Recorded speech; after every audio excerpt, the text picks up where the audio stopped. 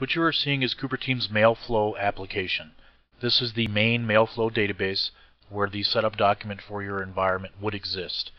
In the main document, basically you're specifying the setup for all of the servers in your environment. Uh, on the main tab, you're giving the document an alias. On the statistics tab, uh, you're defining the global settings. This is all actually pulled in automatically since when you install Mailflow Analyzer, you're actually installing it through a wizard. Um, the installation process for Mailflow Analyzer um, on your main server, administrative type server, uh, takes approximately 30 minutes uh, with a Cooperteam representative.